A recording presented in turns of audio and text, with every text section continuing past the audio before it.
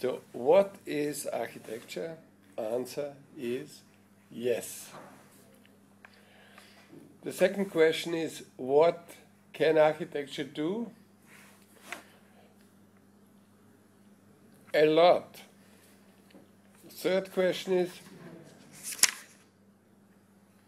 how do I How do pos- position yourself? myself in the discussion, discourse of architecture on the top? And the fourth question is well, what is your design? design method? This is a secret. This was the short version of uh, the answer. I give you the long version. What is architecture? Architecture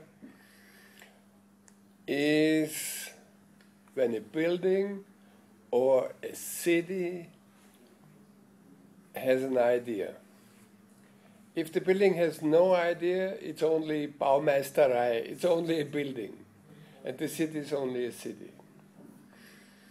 What can architecture do?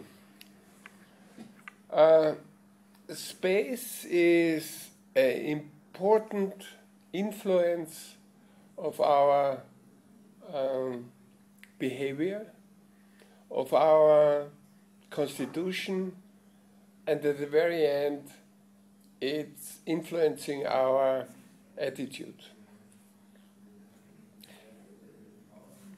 Third question is my position on top of the architectural discourse. Yeah, that's it. I think uh, I'm talking with experience. I know young people would not like to hear it. And when I was young, I couldn't stand it if someone said, I have experience, therefore I'm right.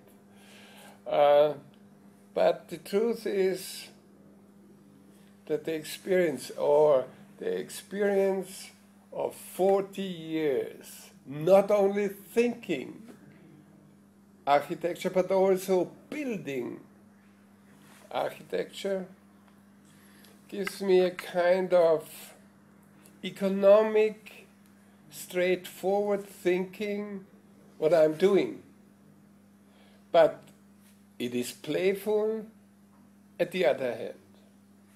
So if someone, that, that leads exactly to the, to the uh, fourth question uh, of what is the designing method. Um, we always thought, or I always thought, if I only think in architectural terms, only architecture will come out. So therefore, since I started to think uh, to be an architect, I always looked for other influences which could uh, make the trial and error game successful. Um, imagine the red point on the wing of a butterfly. It shows up, and nature says it's good or bad. The trial and error um, game is feedback systems were always, uh, were, were always very important for us.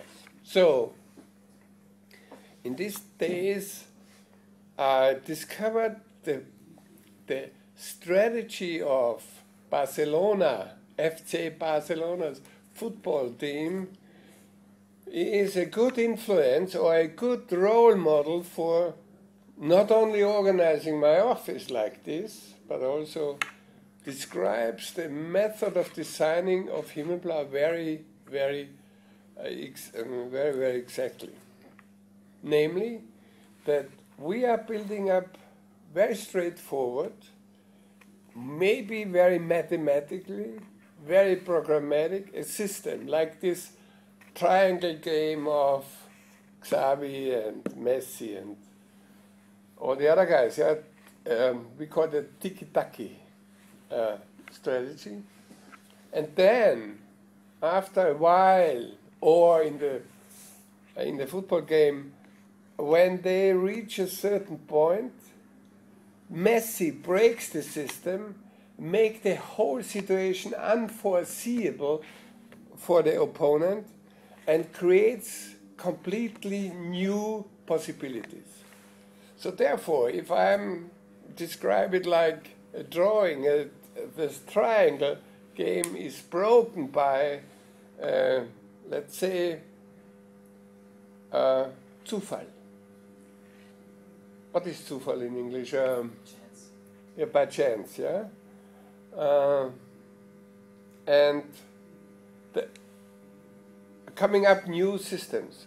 So it's not a closed system we are thinking, it's an open system with all the possibilities, with all the unforeseeable solutions, which brings me to uh, the statement that complex um, problems only can be solved by complex solution. The advantage of the complex solu- solution is that complex solutions are always new. Very hard to understand, but always new.